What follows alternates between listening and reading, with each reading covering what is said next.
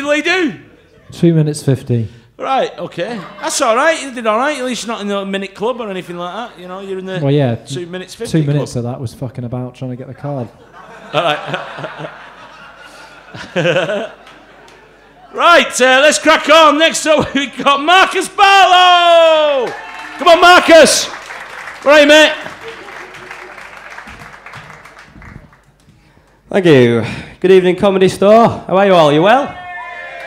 Good stuff. Uh, my name is Marcus. Uh, like Mick, I'm from Oldham, which is uh, a lovely little town. It's uh, one of the few places in the northwest where pissing through people's letterboxes is considered a sport. I'm actually regional champion, which is nice.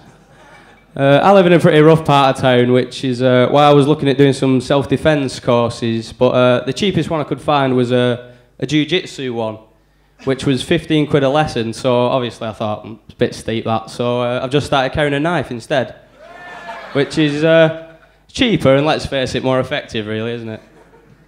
But, uh, I've been uh, trying to find my, my uh, girlfriend uh, birthday present today, which is difficult at the best of times, but I've got to excel myself this year because I fucked up last time. Last year she said she wanted something that made her feel desirable, so I got her a rape alarm. Which, I'll be hon- wasn't the hilarious gag gift I thought it was going to be, to be honest.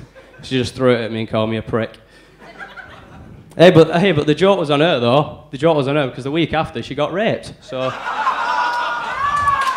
I'm joking. I'm uh, I'm joking, of course. Uh, I haven't got a girlfriend. No, but you know, buying presents for people. I, I don't like buying presents. I'm not very good at it. I don't even like receiving presents off people, which sounds like I'm a bit of a miserable fucker, and I am. But like, no one ever gets you what you want, do they? Like, it's the same every Christmas. Like, well, Marcus, we know you're uh, a keen reader, very fond of the works of uh, Dostoevsky and Chekhov. So that's why we've got you this chocolate fondue set. Yeah? Thanks.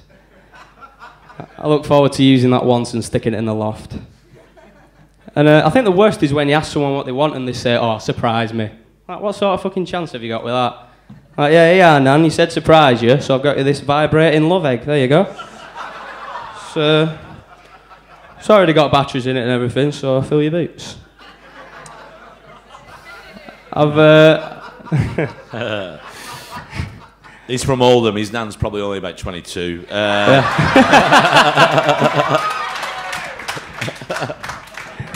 It's true, is the tragic thing. and uh, I've also been booking my holidays today, going away with with the lads. Not really looking forward to it.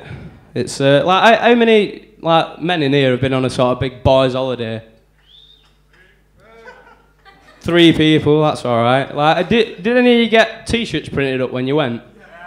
Like matching T-shirts. We always used to. We always used to get matching T-shirts, so we'd have our team name that we came up with. Something that seems really funny, but in retrospect is just shit.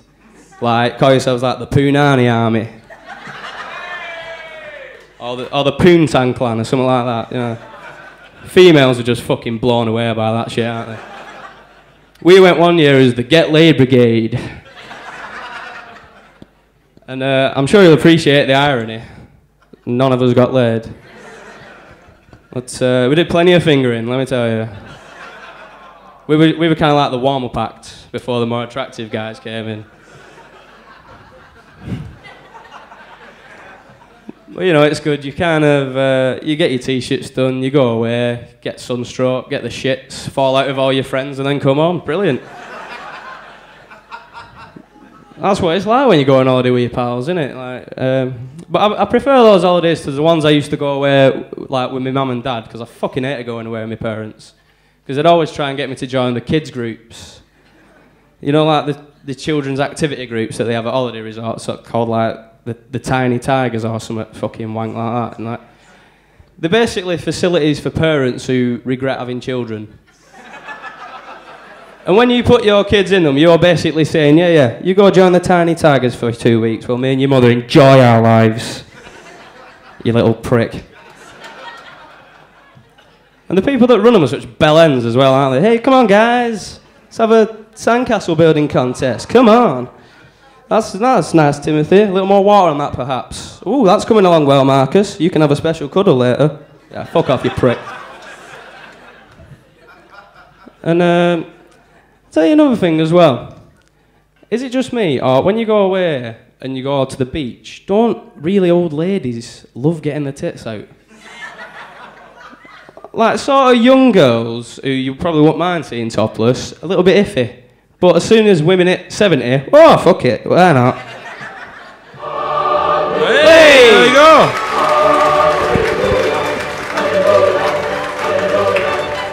Marcus Barlow there. Right, uh, can we send out for a drink, Gareth, please? Yep. Cheers, mate. Thank you. Right, uh, let's crack on then. Uh, we got Tom James.